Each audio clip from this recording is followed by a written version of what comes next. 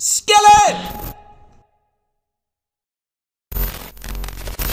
Hey, it's nice of you to invite me over, but what are you doing again? I'm looking up a gift for you on Amazon.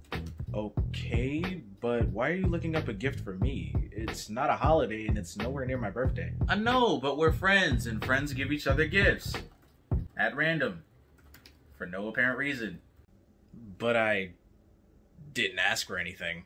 Come on, man. Can't a friend like me give you a gift because we're best friends and also not have anything inconvenient happen in the past few hours? Actually, now that you mention it, something inconvenient did happen in the past few hours. Like what? Like some idiot stealing my car and making it look like it was ran over by a tank. Huh.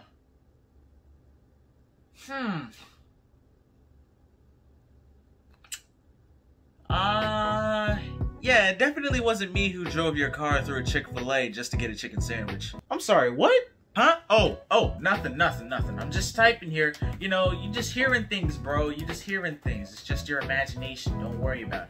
No, repeat what you just said. Someone drove your car through a Chick fil A restaurant to get a chicken sandwich. I'm gonna go on a limb here and say that that's someone who stole my car was you. I'm just making wild guesses here, man. I don't know what happened. Okay, just making wild guesses. Explain why my car looks like it was crushed by a tank. Oh no, that wasn't a tank. See, after I left from the Chick fil A, some friends and I did some stunts and. Yeah, I destroyed your car. I'm gonna say this as calmly as possible.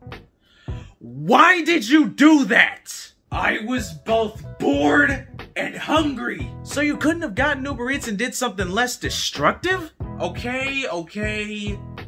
To be fair, we also committed vehicular manslaughter. Happy? You did what now? Yeah, you might not want to drive that car anymore.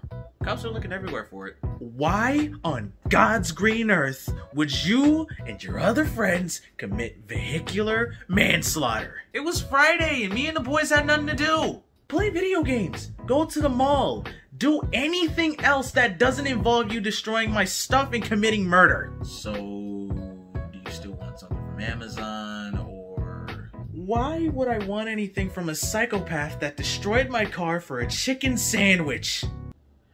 You, my friend, just lost yourself a birthday gift. Yeah, I'm out of